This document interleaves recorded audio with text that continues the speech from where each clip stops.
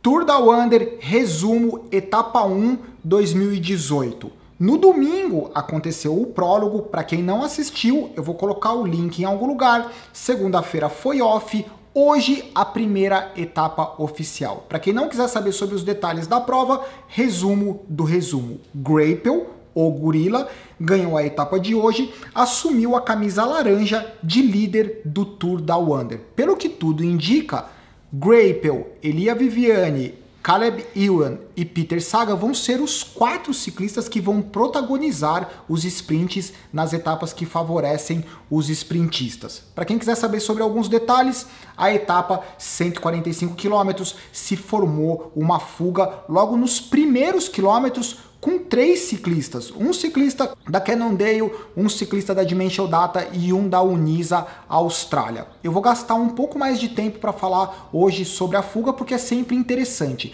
Entre os motivos para os ciclistas estarem na fuga ou para as equipes mandarem os ciclistas na fuga, existem alguns motivos mais óbvios, como aparecer na televisão. Os ciclistas ficam por muitos quilômetros aparecendo para testar ciclistas ou simplesmente porque os ciclistas eles têm chances reais de tentar uma vitória de etapa, o que não era o caso de hoje. Hoje os ciclistas eles tinham ideia mais de aparecer ou de coletar pontos nas metas intermediárias.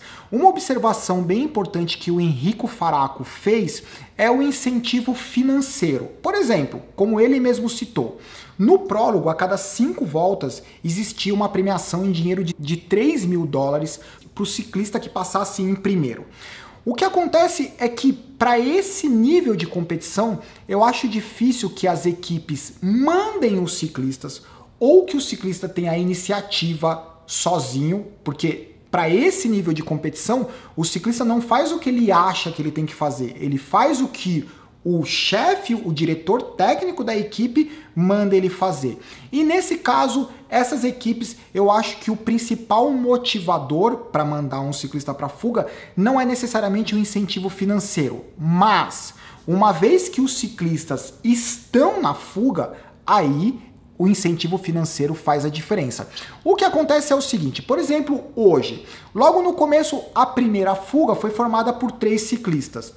Três ciclistas, na primeira meta intermediária, a gente teve uma disputa super acirrada para ver quem que ia faturar a meta intermediária. Após a primeira meta intermediária, grande parte do tempo ficaram apenas dois ciclistas. O da Cannondale, o Clark, que na verdade ele foi o que fez o primeiro movimento nos primeiros quilômetros e ele só foi pego faltando 10 quilômetros. Ou seja, ele esteve pedalando sozinho ou na fuga por mais ou menos 130 quilômetros. Esses caras são muito fortes.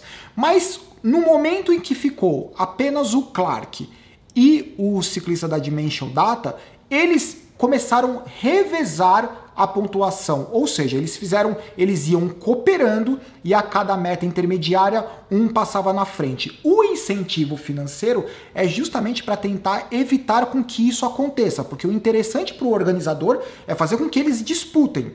Então, nem sempre o incentivo financeiro funciona para manter a competição com uma dinâmica mais agressiva. Isso foi o que aconteceu na fuga Henrique Faraco. Valeu. Aliás, sempre quando eu faço esses resumos, uma posição que eu procuro não assumir é a posição de quem sabe o que está acontecendo.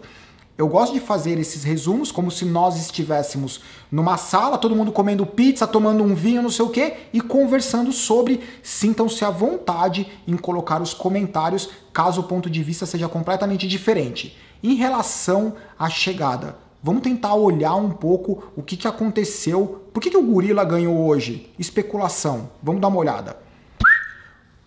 Bom, vamos lá, algumas especulações, algumas movimentações que aconteceram principalmente no quilômetro final. Acompanhe a setazinha do mouse para a gente conseguir ir caminhando junto aqui com os ciclistas. Bom, aqui vocês já estão vendo que tem a equipe Quick Step com três ciclistas e eles são conhecidos por serem uma equipe, uma das equipes que melhor conseguem embalar os ciclistas, no caso, o Elia Viviani.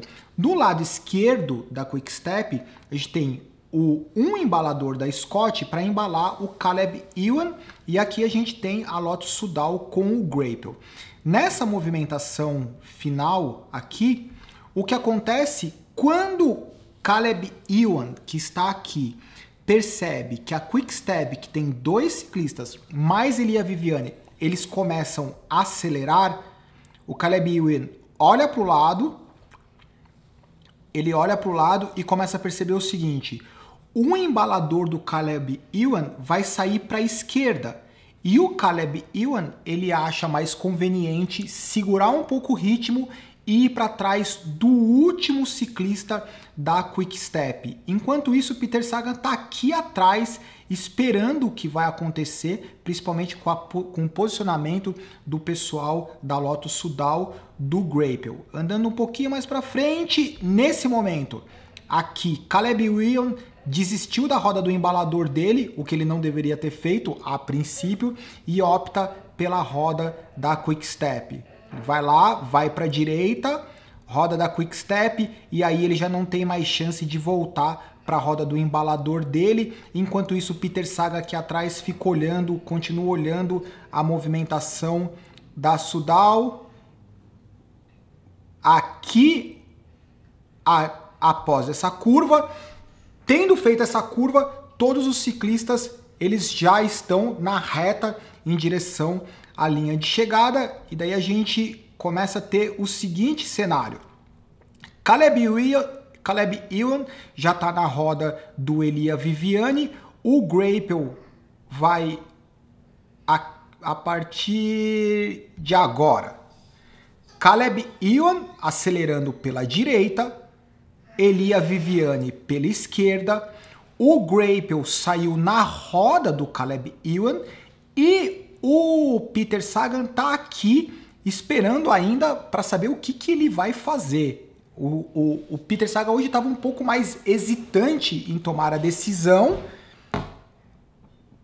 Nesse momento a gente tem os quatro primeiros colocados de novo.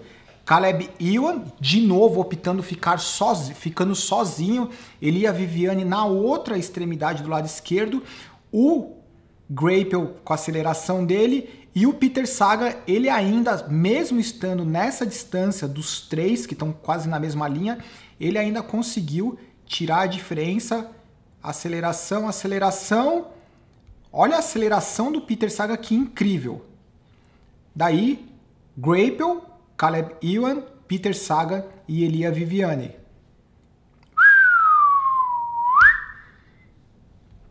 E foi assim que o Grapel ganhou é muito curioso ver pausadamente assim a decisão que os ciclistas vão tomando atrás de quem que eles vão, qual é a roda que você vai escolher para esperar até o último segundo em você abrir todo o gás e ter certeza que você tem perna para passar a linha de chegada. Nesse caso, o Grapple faturou essa e é isso aí. Até a próxima etapa. Tchau, bumba!